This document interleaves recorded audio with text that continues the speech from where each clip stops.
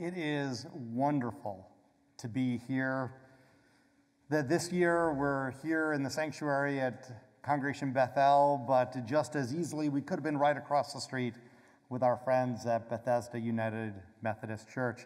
That for decades we have been gathering right before Thanksgiving to give thanks, to extend friendship, and to gather together.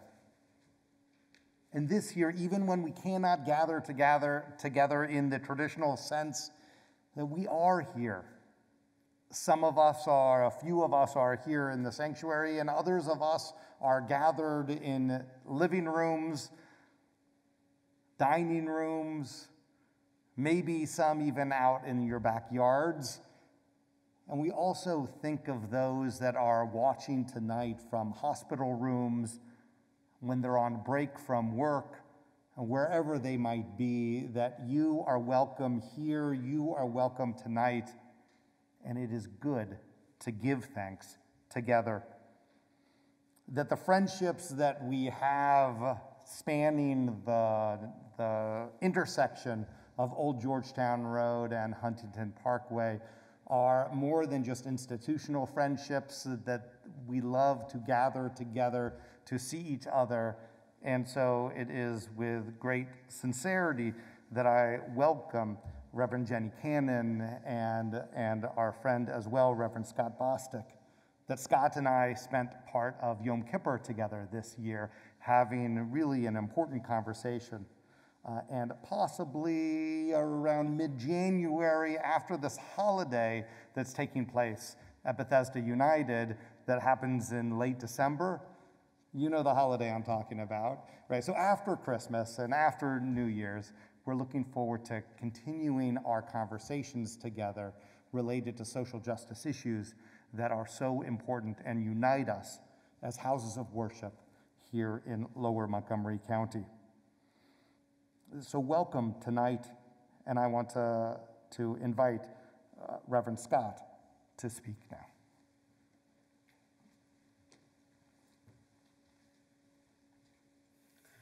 Thank you. Beloved, will you join me in our opening prayer? We come together this night to say thank you, O God. We say thank you for the day, for the morning and the night, for the sunset and the sunrise, and for everything in between. We thank you, O God for the many blessings that we enjoy in this world, and for the spaces where you call us to bless others. We thank you, O oh God. For this moment and space in the midst of all that is going on in our world, in our nation, in our community. We thank you, O oh God for this time to worship you and to give thanks for the blessings that we know and for the ones that are unknown to us.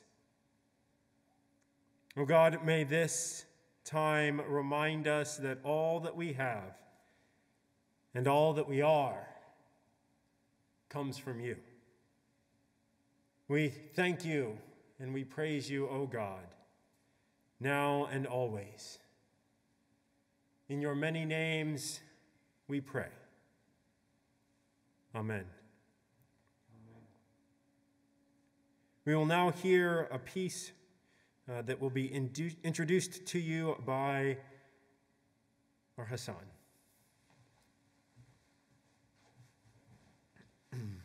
Thank you, Scott. And um, it's really a pleasure to be here again with everybody, and I know there's so many people watching and uh, joining us from all of your homes um, around the area. And this is going to be our first um, musical selection of the evening after the beautiful intro, um, Simple Gifts, that was played uh, so beautifully by Chris Warrington. This is our Gesher Chorale, our middle school chorale. Uh, the musical director is Evelyn Golden, and we have three soloists Cory Breychak, Eva Schwartz, and Daniella Kulp enjoyed this uh, rendition of True Colors by the Gesher Chorale.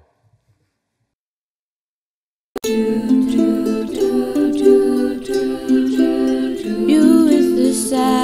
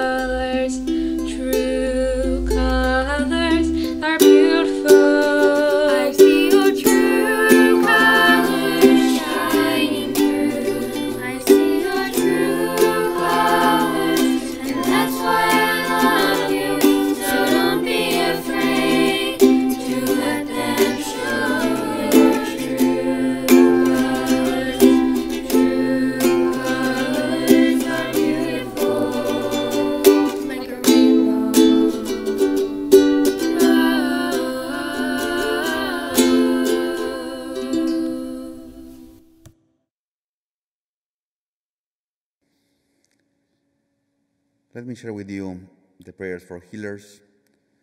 A prayer written by Rabbi Ayelet Cohen.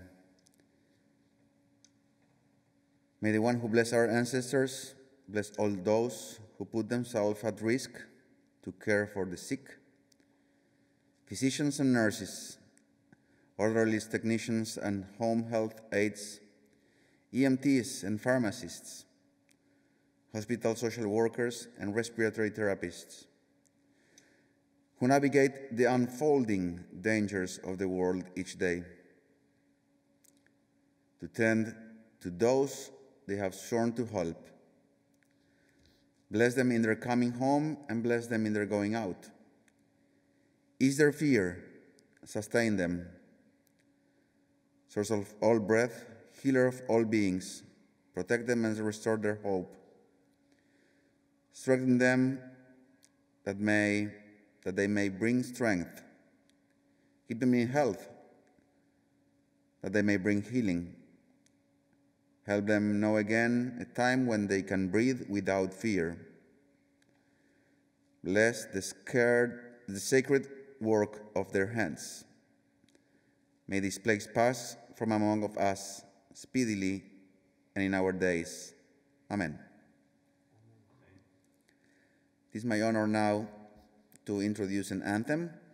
Both houses of, wor- houses of worship gathered together to sing together for the beauty of the earth that we are going to listen and watch together now.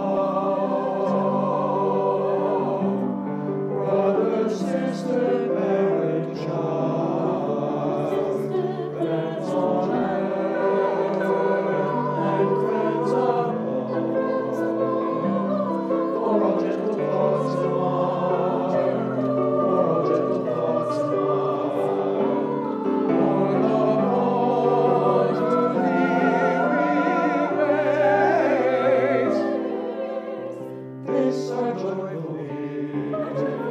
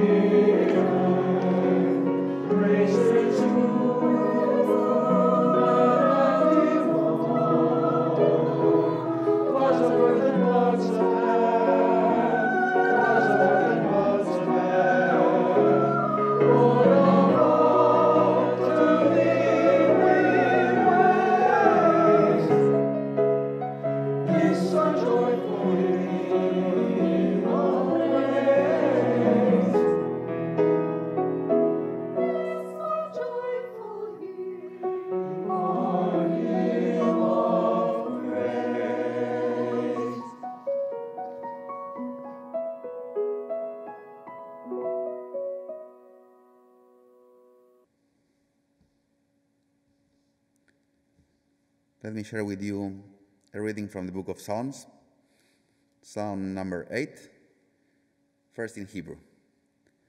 למנצח על גיגית מזמור לדוד. אדוני אדונינו מאדיר שמך בכל הארץ אשר תנאה עודיך על השמיים. מפי עוללים ביונקים יסדת עוז למען צורריך. להשבית אויב ובנקם. כי ירא שמך מעשי אצבעותיך. ירח וכוכבים אשר כוננת. מה אנוש כי תזכרנו ובן אדם כי תפקדנו, ותחסרהו מעט מאלוהים בכבוד והדר תעטרהו. תמשילהו במעשה ידיך, כל שעת תחת רגליו. צונא באלפים, כולם, וגם בהמות שדי. ציפור שמיים ודגי הים, עובר אורחות ימים. אדוני אדוננו מאדיר שמך the whole Now, I will read the translation into something very close to the English because of my pronunciation. That's what I meant to say. For the conductor on the gigist, a song by David God, our Master, how mighty is your name throughout the earth. You who places your majesty on the heavens. Out of the mouth of babes and suckling, you have established strength because of your enemies, to silence foe and avenger. When I behold your heavens, the work of your fingers, the moon and the stars that you have set in place, I think. What is, frail, what is frail man that you should remember him, and the son of mortal man that you should be mindful of him? Yet you have made him but slightly less than the angels, and crowned, crowned him with soul and splendor. You give him dominion over your handiwork. You placed everything under his, his feet sheep and cattle, all of them, even the beasts of the field, the birds of the sky, and the fish of the sea. For man ever traverses the lanes of the sea. God our Master, how mighty is your name throughout the earth. I promise that one day I will read with a good accent. One day. And that is the name, One Day, of the song that Marak Hayom, the teen a cappella group of Beth El, will be singing for us. One day.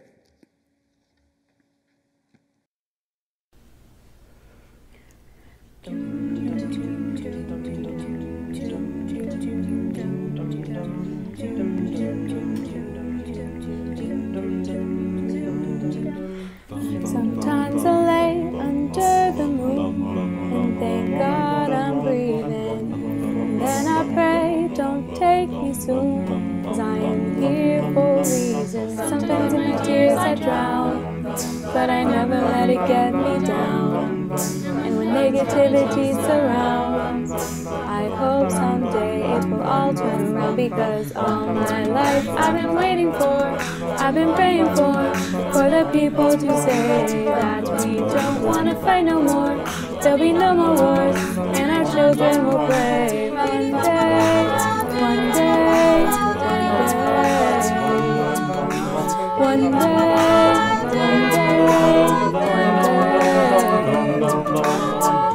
It's not about win or lose. We all lose when they feed on the souls of the innocent. Blood drenched pavement, keep on moving though the water stays reaching. In this maze, you can lose your way. Your way might drive you crazy, but don't let it phase you. No way. No way. Sometimes in my tears I drown, but I never let it get me down. And when negativity surrounds, I hope someday it will all turn around because all my life I've been waiting for, I've been praying for, for the people to say that we don't want to fight no more. There'll be no more wars, and our children will play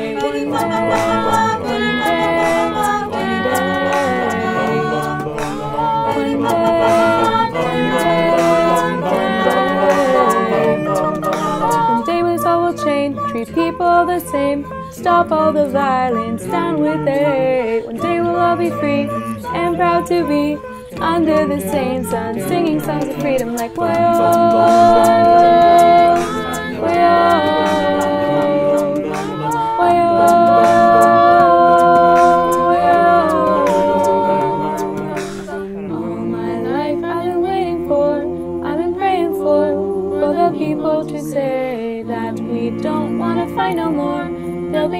wars, and our children will play. One day,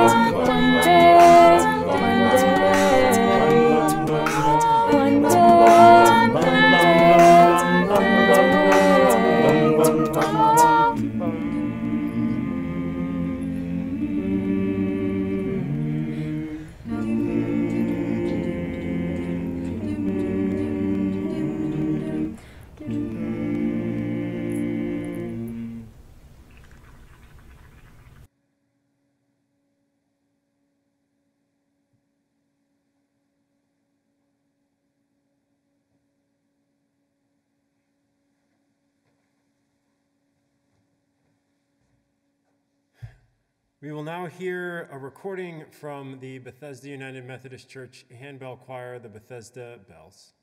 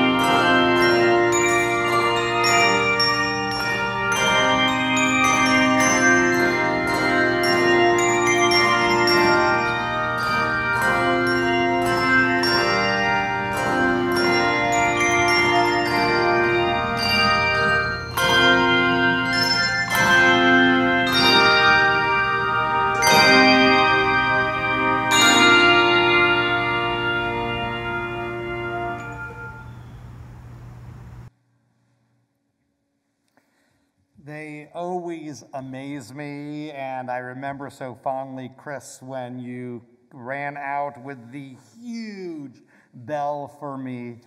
Um, that uh, just the, the ease of friendship and joking that we have with each other is so important and it lightens my, my heart. That as we turn to really one of the most important parts of today, which is to support not only the friendship that we have with each other, but to support the community that we live in, that we're making suggestions that we continue to help the really important work of Bethesda Cares and also of Bethesda Help, that these two organizations do so much direct service assistance with food, financial assistance, and so many other things for the needy right here in our community. It is too easy to overlook those in need living here in Bethesda and the immediate area around us. Let's be thankful. Let's have gratitude. And please, let's also be generous. So, for the next minute or, or so, Chris is going to play, and I invite you on a different device or to make a commitment to yourself now that you'll go online and support the work of Bethesda Cares or Bethesda Help.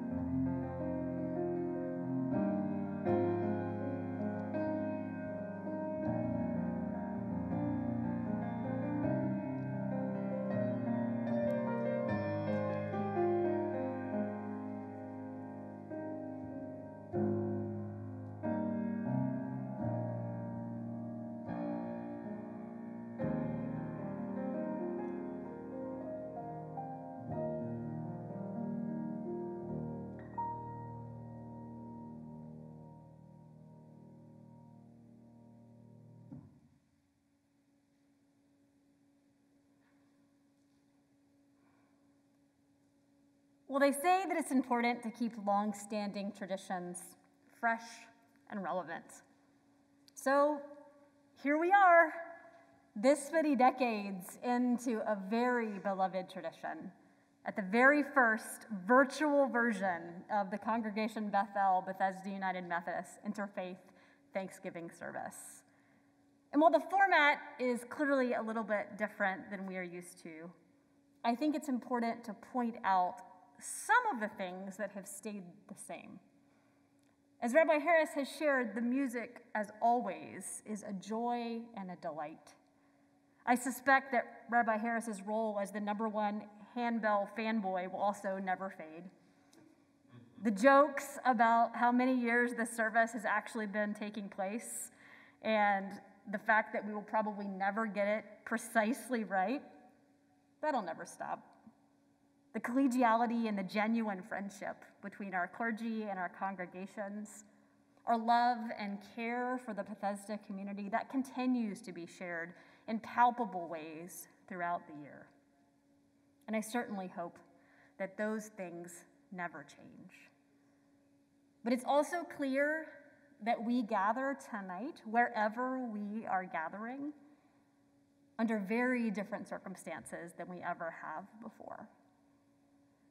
And I want to say that I am grateful, actually, for the chance to still give thanks to God here in this community, but doing that at least in part by helping to keep each other as safe and healthy as possible. That's part of our call as people of faith, of course, caring for each other. And hopefully that's not a hard sell for most of us. But Psalm 8, it reminds us that caring for the health and the life of all creation, that's actually part of our identity as human beings. So living with humility and respect that isn't just something that we do with each other because public officials beg us to. Caring for the earth isn't something we strive for just because we worry that our great great grandchildren will one day be living on oceanfront property in Ohio. We care for each other. We care for this world because that's who God created us to be. That's how God created us to be. And we praise God most faithfully not by proving how self sufficient we are, not by picking ourselves up by our bootstraps or proving why we don't need anyone to do us any favors. We certainly don't praise God by seeing how far we can stretch and stress the planet. We praise God by recognizing that we need each other, that we need this beautiful world that we live on and its resources. And it is not weakness or fear, but faith and strength and love that is at work when we cultivate that and care for each other. And so, as God's handiwork, breathed into life from God's holy dirt, we have a specific role to play, it turns out, in tending to it. Now, I have actually learned a lot about dirt in these last few months because one of our family projects during the pandemic and all this at home time has been to take up composting. So, several months ago, we received in the mail a package of 10,000 red wiggler worms from a company called Uncle Jim's Worm Farm. And together, with the banana peels and the million pounds of coffee that my household generates a week, and water and sunshine and time, there has actually been some really good dirt being created in the sub pod in my backyard. Now, I will not go so far as to say that it is holy dirt, but it is pretty darn close. But it turns out that good dirt is messy. It's the kind that leaves smears on your fingers and clings to the bottom of your shoes. And good dirt actually takes a lot more work than I thought it did to keep up. And so, this work of cultivating life, of caring for creation, it's going to cause us to break a sweat. Every choice, every word, every prayer, every dollar, every march, every vote, every step, we choose to praise God by doing the hard and the holy work of caring for each other and of caring for God's world choosing our vocation of justice and mercy and compassion over self preservation and self righteousness and ridicule every day, choosing that again and again, not just when we are feeling especially generous. Now, I don't know about you, but I feel like I have seen enough of those less generous parts of humanity to last a lifetime especially in recent months. But I've also seen extraordinary acts of courage and of creativity and of perseverance as well. We humans are a mix of both at any given moment, aren't we? Holding the capacity to harm and the ability to heal. Dirt that is dirty and dirt that is teeming with life and possibility. And one of the things I really love about this particular psalm is how, in echoing the creation story from Genesis, it really tries to thread that needle on how human beings should understand ourselves. Very clearly, the psalmist wants us to know we are not God. We are not the sovereign one whose glory is reflected in the stars and the sky and the fish and the birds. But neither are we simply part of that creation in exactly the same way either. And so, as human beings, we have a particular responsibility to be caretakers, to not diminish the majesty of God in creation, but to point to it and reflect it and honor it. When I look at your heavens, the work of your fingers, the moon and the stars that you have established, what are human beings that you are mindful of them? Mortals that you care for them. I've been following the Humans of New York photo project for several years now in various forms on social media. For those of you who might not be familiar with it, Humans of New York was a project started by a University of Georgia graduate named Brandon Stanton back in 2010. He began as an attempt to photograph 10,000 people on the streets of New York City. And organically going out to the street day after day, approaching people, asking to take their picture, striking up conversation, hearing stories about their life and background. He also began to include quotes in the captions of some of the photographs. Some of them humorous, some of them poignant, some of them heartbreaking. People began reading and following and seeing the stories of these humans of New York, usually with no names of any kind attached. And it was stunning to see these deeply intimate, personal glimpses into the lives of ordinary human beings and realize how many common threads were between them. That's why I like to read it. It's like a little injection of straight up humanity into the middle of my news feed, which otherwise seems to be crowded with a lot of articles and opinions and advice about being human.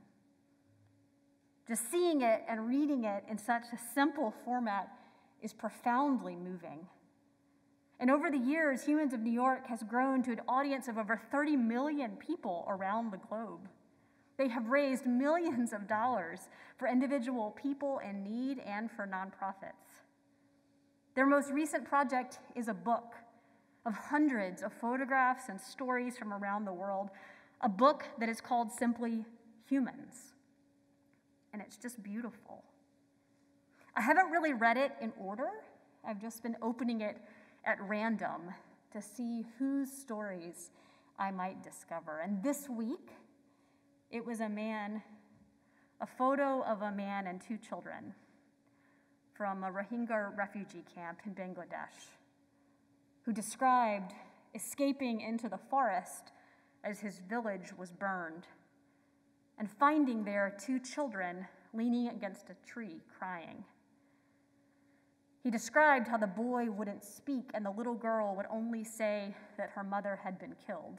And when the man asked if they wanted to come with him, they nodded yes. I'm taking care of them the best I can, but it's difficult because I already have a large family. I think they are happier now. The girl has made some friends in camp but she still keeps asking about her mother. What are human beings that you are mindful of them? Mortals, that you care for them. We know. We know. We are the work of your hands, Holy God. We are made to treat every single person on this earth as they are too. We are flawed and we are full of potential. We are created by you to love and to give and to serve beyond what is comfortable or convenient. We are called to cultivate life, to nurture the world by what we say and what we do and perhaps in this week, by what we don't do. To live not just for ourselves, but for and with each other. To be humbled by the precious and sacred gift of breath and life and clean water and fresh air. That is perhaps the best possible way that we can give thanks to God for the many blessings that are here among us. That is how we join the chorus of honor and glory that we see in the stars and the birds and the beasts and the rivers, not by trying to shake off our humanity or overcome our mortality, nor by trying to prove ourselves worthy or beyond reproach, but simply by being every bit of the human beings that we were created to be. Human beings who give thanks to God by honoring the life in each other and in the world. Human beings who can come through times of adversity and deep loss and still manage to create and change and even grow in our capacity to love. Thanks be to God. Holy dirt indeed. Amen.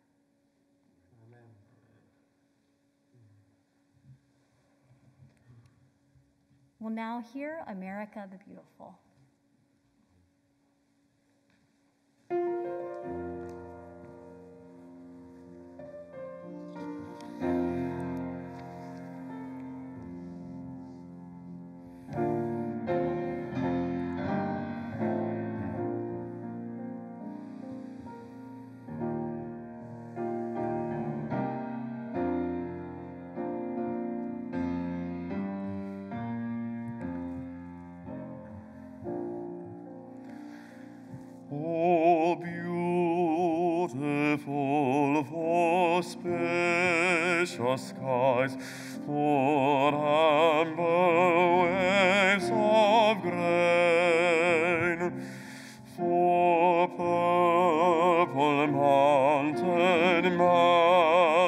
Majesties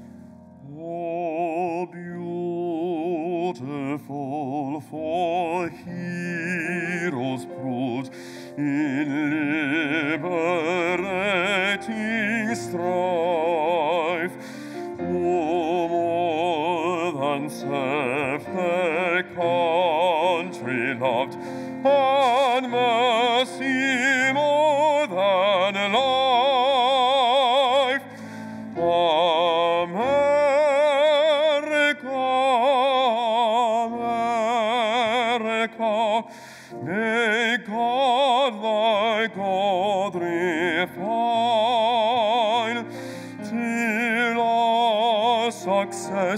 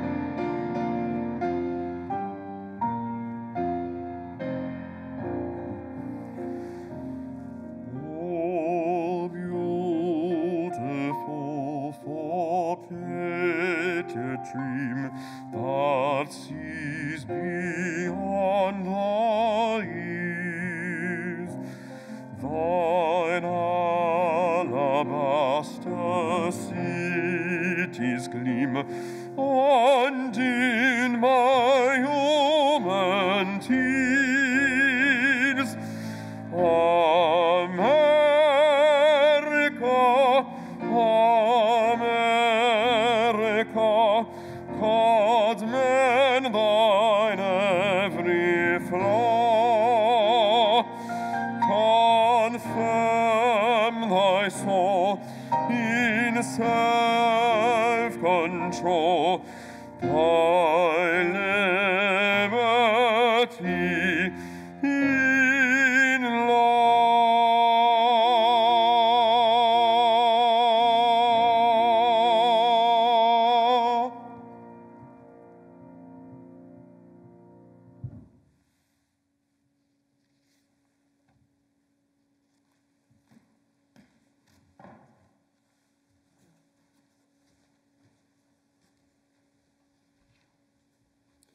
Now, the Bethesda United Methodist Church Choir, All Things Bright and Beautiful.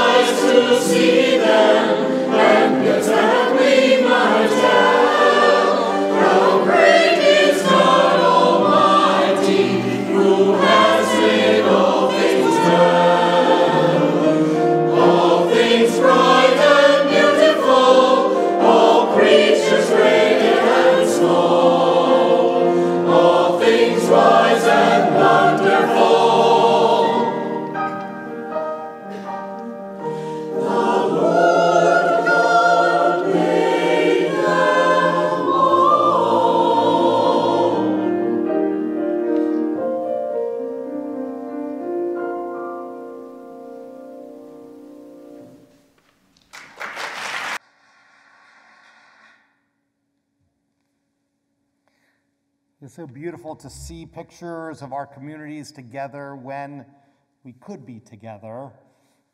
So I feel like I should add a note that all the recordings were done pre COVID, and so kids were together without masks, and smiling faces were things that we could see, and, and uh, I can feel the smiles and the warmth of all of you here in the sanctuary that it has been such a blessing to be together. And I want to thank again Jenny and Scott.